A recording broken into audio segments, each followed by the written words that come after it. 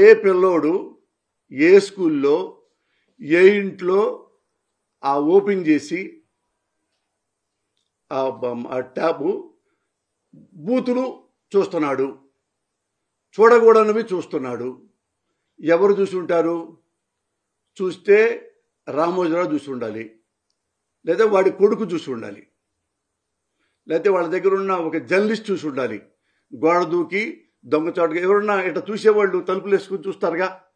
అయినా కానీ ఈగలో ఈగగా దోమలో దోమగా తొక్కలో తొక్కగా ఆ గదిలో దూరి చూస్తే ఆ టేబుల్లో పచ్చి బూతులు ఉన్నట్టు ఉంటే అప్పుడు ఈ పేపర్లో రాయాలి. దాంతోపాటు విట్నెస్ కూడా పెట్టాలి. సాక్ష్యం కూడా పెట్టాలి. నేను రామోజీరావు గాడిని ఎందుకు ప్రశ్నిస్తున్నానంటే మీరు చాలామంది అనుకుంటారు. అయ్యో రామోజీరావు గారు చాలా పెద్దోడు. రామోజీరావు గారు లవ్ ఫుట్ ఏంటి? రామోజీరావు గారు రాజకీయ బ్రోకర్ ఏంటి? వాడేంటి? ఆ సన్నాసి అంటాడేంటి పోస్తా అని అంటారు కదా. అతను నా మంచి క్లోజ్ ఫ్రెండ్. అప్పుడు ఏం చేయాలి ఇప్పుడు? ఈ ట్యాబ్లన్నీ తీసేసేయాలన్నమాట. లేదా స్కూళ్ళు మొత్తం మూసేసేయాలి. ఆ పిల్లలు పాడైపోతున్నారు కాబట్టి స్కూళ్ళు మానేయాలి. అంతే కదా? ఒరే రామోజీరావు సన్నాసి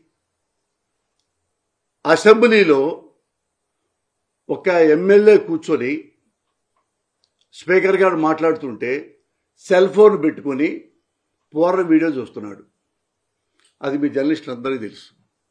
అది ఏ రాష్ట్రమో అది చెప్పక్కర్లా. ఒక అసెంబ్లీలో ఒక ఎమ్మెల్యే కూర్చున్నాడు.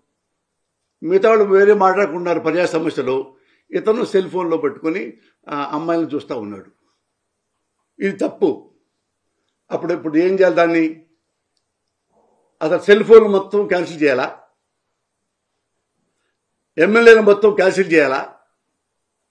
అసెంబ్లీని రద్దు చేయాలా? జీవితాంతం? సన్నాసి ఆన్సర్ చెప్పరా? నిజంగా ఏవైతే ట్యూబులు ఇచ్చారో ట్యాబ్లు చూడటానికి దానికి లాక్ ఉంటుంది.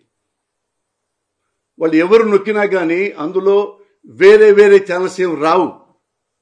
ఇన్ కేస్ వచ్చింది అనుకోండి మీరు. దాన్ని తప్పుదిద్దుతారు. అంతేగాని పేపర్లో ఫ్రంట్ పేజీ మొత్తం వేసేసి పిల్లలంతా నాశనం అయిపోతున్నారు. వాళ్ళ అమ్మా నాన్న తెగ బాధపడిపోతున్నారు. అని ఎట్టా రాస్తావరా బుద్ధి లేనోడా?